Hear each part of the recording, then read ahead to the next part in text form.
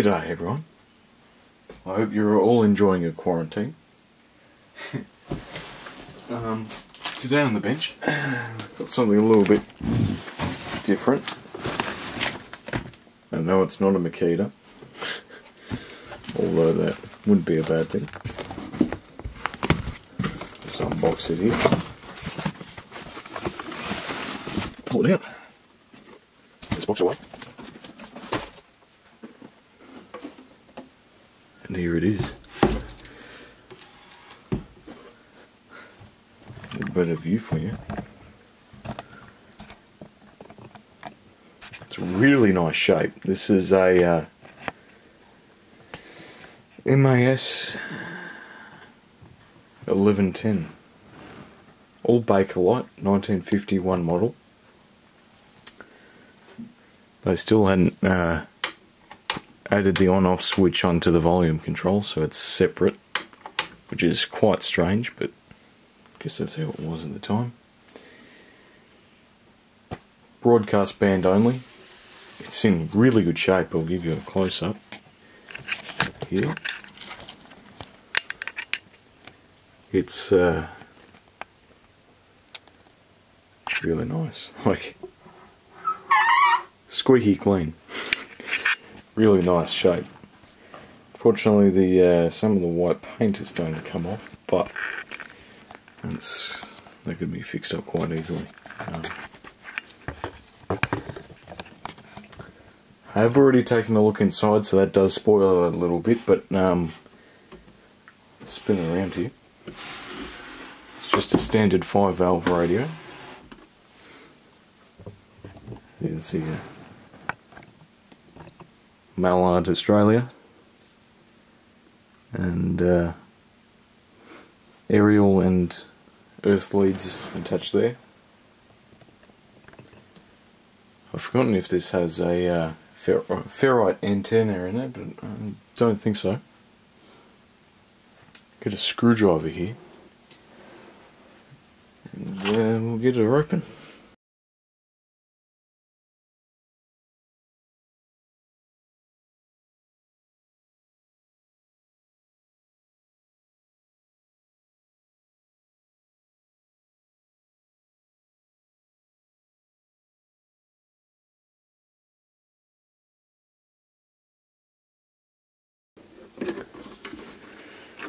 Pull off the back panel and we'll take a closer look. Alright, taking a look inside, I've already spotted something.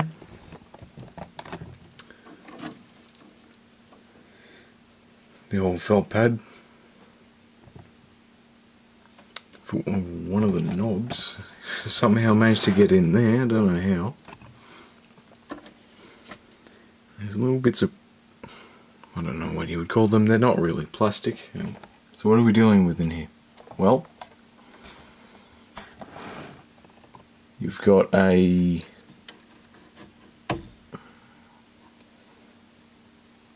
Philips Mini Watt 6X4. That's right, so obviously that's a replacement. This is a, uh, well, early Philips Mini Watt 6CM5. These are really old replacements. Very early. Uh, 6N8, made in Holland. That would be a uh, original valve from the set. Um, that obviously hasn't been replaced. This guy here also a 6N8. This set has two 6N8s. Um, also an original valve. And last but not least, the guy back here.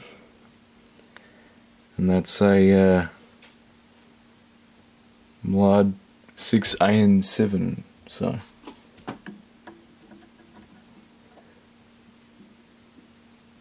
Get that back in there. Unfortunately, the the sockets are just the cheap Bakelite sockets, but that's alright. Interesting here. Look how tiny that uh, tuning capacitor is. that actually has the production date of it on it. 12th of June 1951. There you go. Speaker's quite nice, quite large. Transformer looks alright, although it's yet, yet to be seen if it's not shorted or anything yet. Curious about these two um,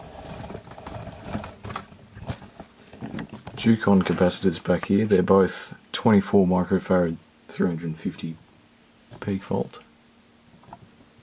Um, interesting how they state the peak volt but not the continuous operating, I guess. Unless they do mean peak working voltage, I don't know. It's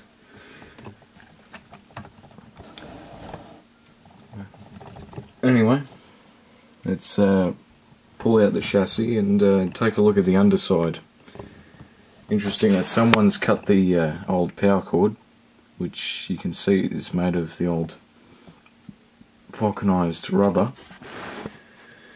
Anyway, alright, it's out of the case. Um, so we can take a bit of a look of it now. Rotate it around a bit. Can uh, get a bit of a look at those Ducons there. You can see the 24 microfarad so the tiny tuning capacitor and its big wheel on it.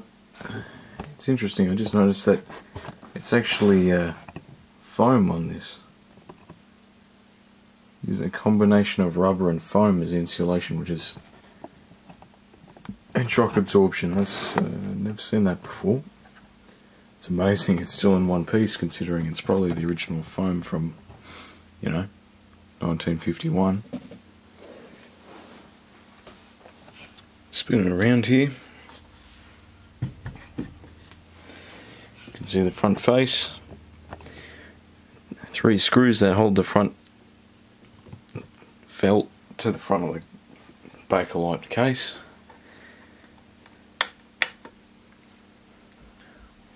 Really good to see that the uh, glass plate is still intact, although uh, now I know where those chunks of plastic are from and uh, I should remove this glass plate. Now you have to be very careful with this because it's um, well the actual station um, the text on it is all made is all turned to dust. See how easy that slid out? It's very important. And there's a little bit of felt on the uh, dial there. And it's important that you don't let that pointer touch it because it will just instantly rub it off. As it seems to have already been doing to a lesser extent but you have to be very careful. Push the dial pointer up and lift it out have a look at that could do with a bit of a cleaning on the front. I wouldn't dare touch the back because it would just come straight off, but yes, they are weird little bits of plastic. I don't know.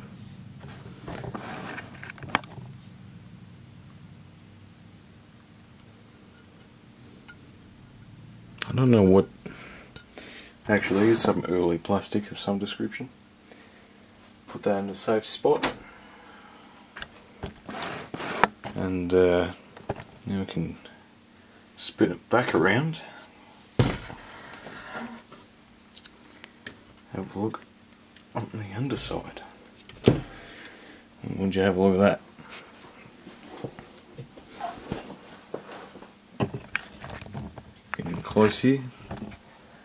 from what I can tell it's a uh, completely original radio. Not a single one of these capacitors looks to be changed, although this Hunts might not be original. I'm not sure about that guy down in there, that's a bit of an odd one of the bunch as well. Don't know who that's made by, but it's in some sort of plastic casing, but it's made in Australia. I'd be interested to see what it is. The rest of these are just uh, um, Ducon capacitors with some sort of tar in, injected into them. uh, obviously to try and keep oxygen out of them. Interesting here, this is a, let's have a look, see if we can rotate the paper. That is an old UCC electrolytic. You won't hear about UCC anymore, that's for sure. 10 microfarad, 40 volt. I'll tell you what, by today's standards, that is a massive capacitor for what it's rated for. Um, this would just about certainly have to go. I don't know about those Ducons, but it's interesting. This is actually used on the uh, bias. Certainly not very often you see a bias capacitor on a 5 valve radio, but in this instance it does have one. Get a closer look in here. This guy, 0.01. And that. And uh, it's got a cross between older and modern encoded resistors. Get a better look at them up here. You can see the old bed type resistor and the more modern color coding resistor used up to this very day. So this is called bed type um, resistors, which body and dot. So two zero uh, five is the multiplier. So two zero five. So it's a two meg. Two meg resistor. Two of them there. And uh, say for instance, brown, black, yellow, uh, yellow. That's a 100k. Another one down there. Yeah, it's quite interesting. Um, they seem to actually put maybe a little bit of paint on the pins after they may have verified each connection or something. So you can tell that it's all original in here.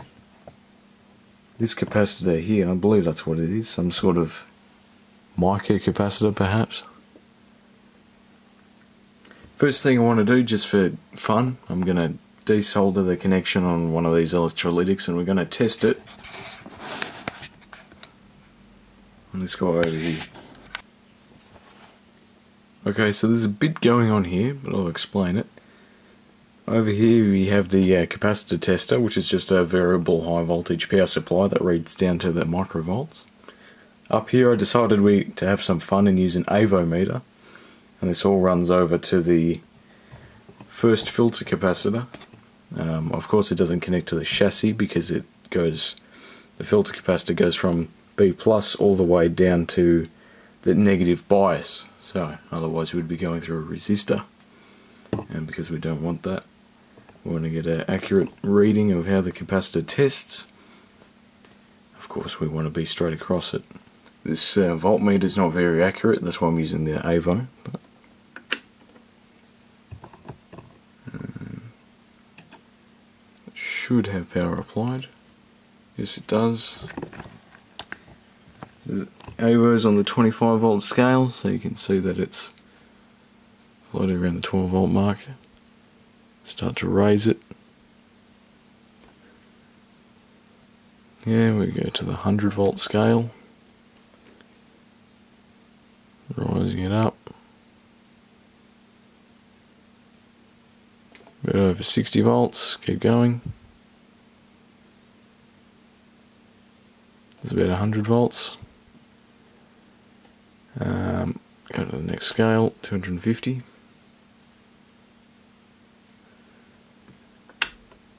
leakage current at what's that about?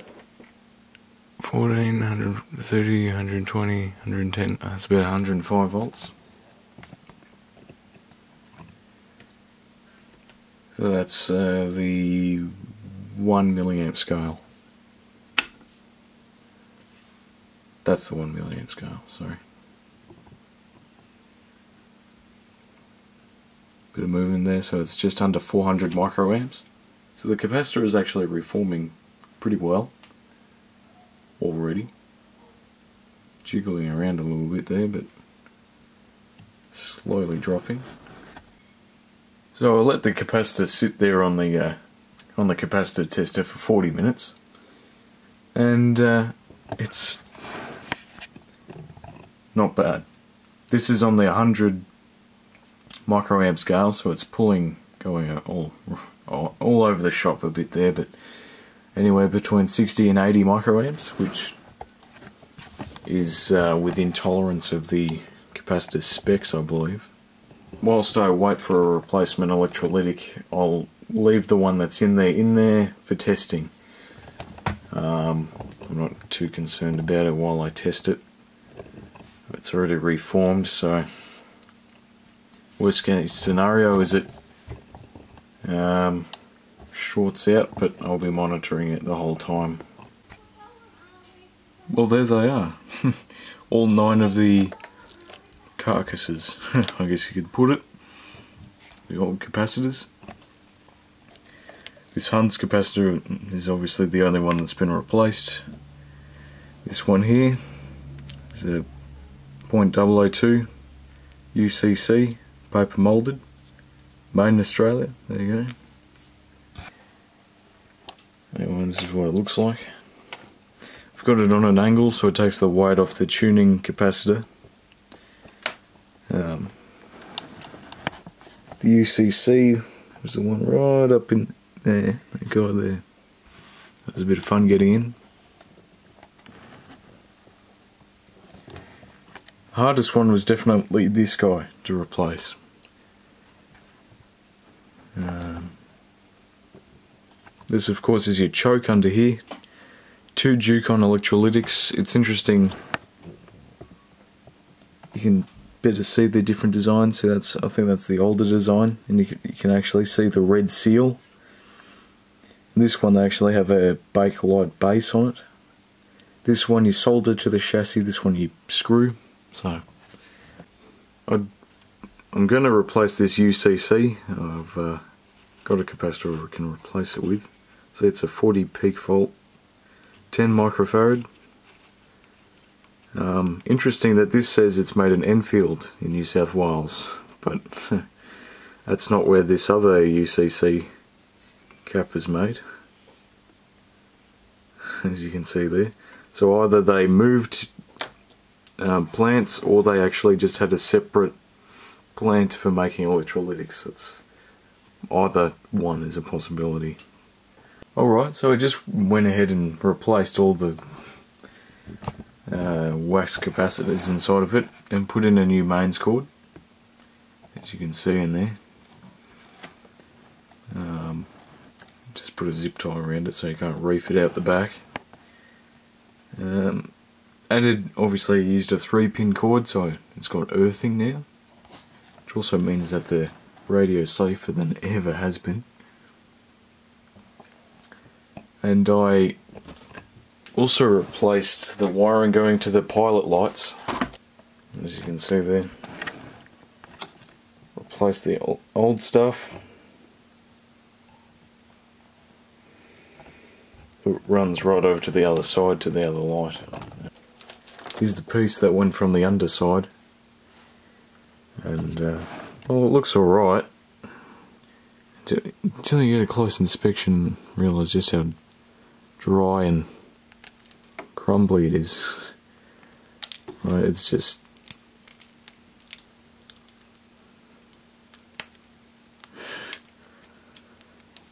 That's a pretty good visual demonstration why you should replace that wire, I think. It's uh, not too good these days. It's weird with this, the on, the on position is left.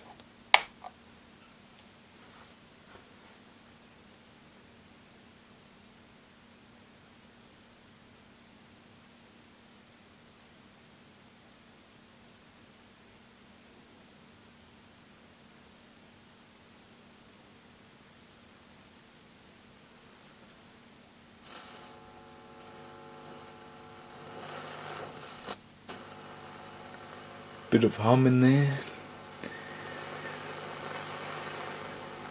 It does seem to be working.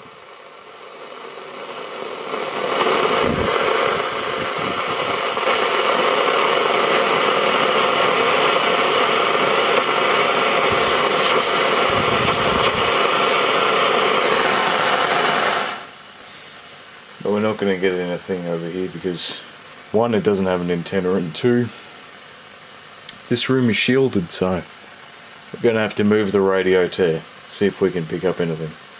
So I'll move it and we'll be back. Okay, so I connected a crude little aerial, as you can see out there,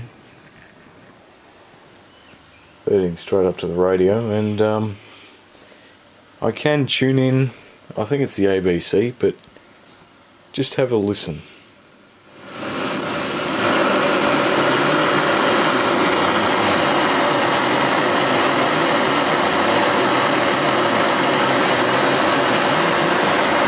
I can barely hear them.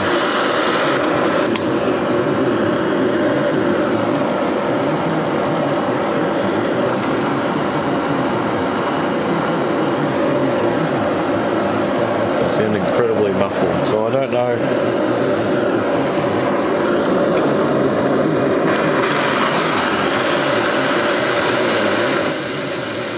So I don't know what that's about, maybe a weak tube.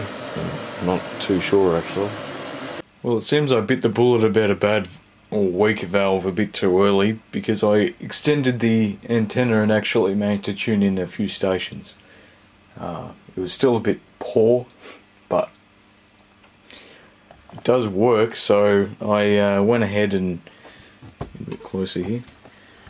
I replaced a few of these resistors in here because I've discovered after I uh, grabbed a, another multimeter that can check resistance uh, accurately, unlike the Avo over here, which I doubt they'd be very accurate by now, but even if it was accurate, I'd struggle to understand it. Um, and I discovered this uh, sky right here.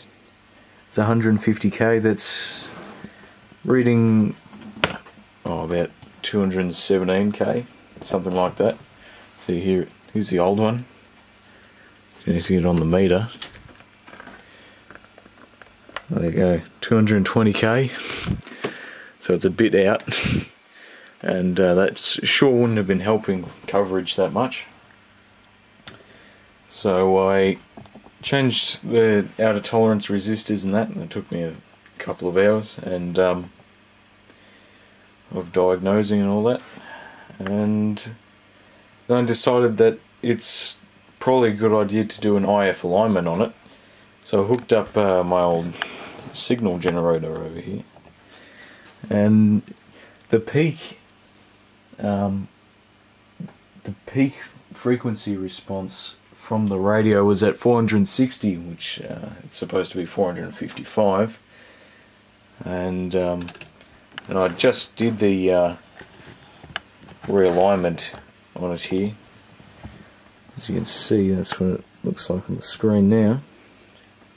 I'll get the lug bench power supply cord out of the way. Wouldn't be a bad idea.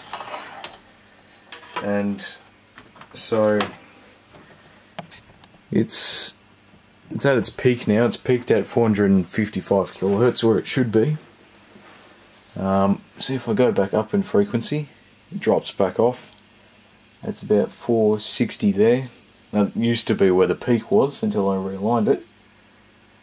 And now the peak's right about there, which is right on 455. Um,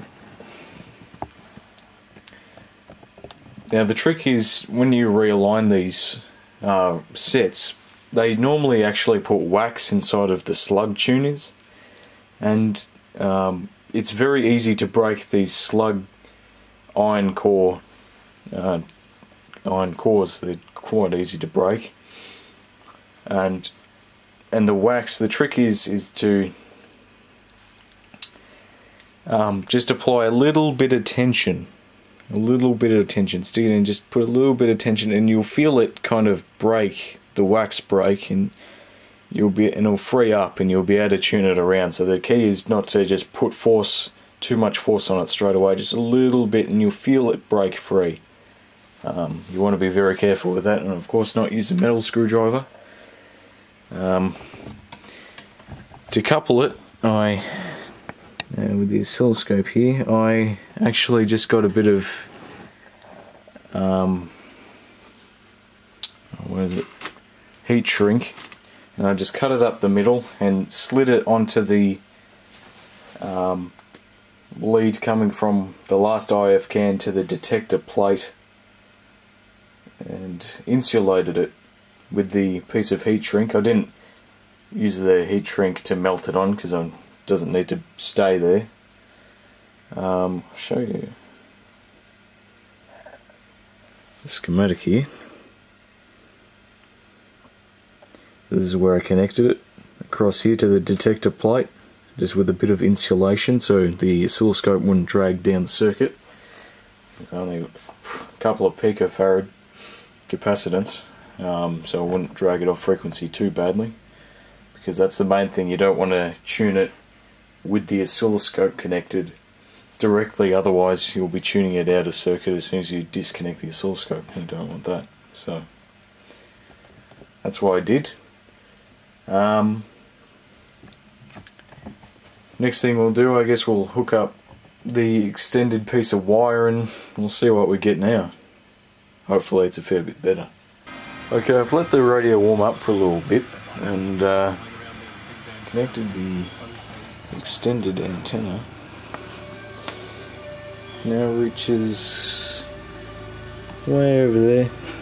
By the gun bed but um yeah it's not doing too bad considering it's just a piece of wire on the ground. Um start at the top of the band here and give you a listen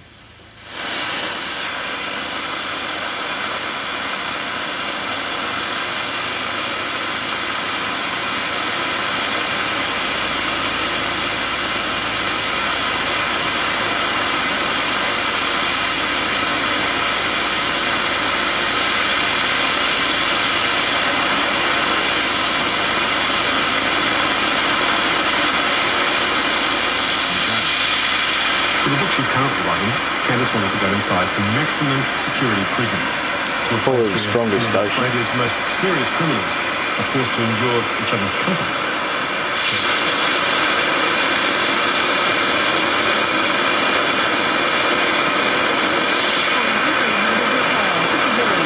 Station there.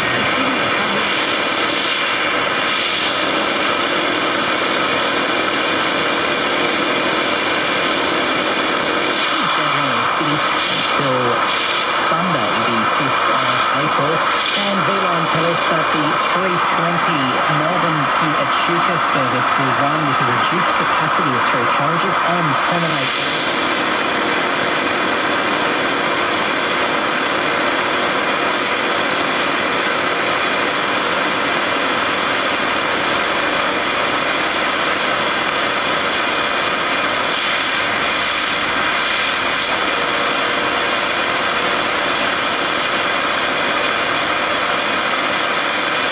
told is generally not really anything up the high frequency part of the band. BBC is covering this epidemic day by day, hour by hour, with the experts. For more information, go to abc.net.au forward slash coronavirus. That's obviously the ABC. .gov.au.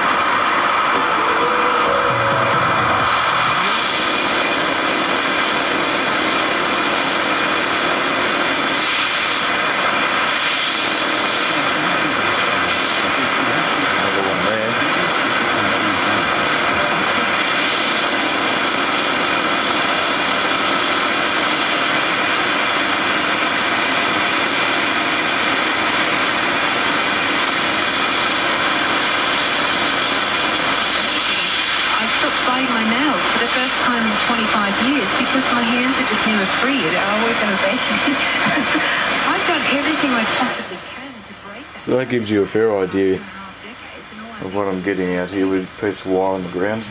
I live a fair way away from Melbourne, so a bit over a two hour drive, so it's not really surprising it's this week with just a piece of wire, but yeah.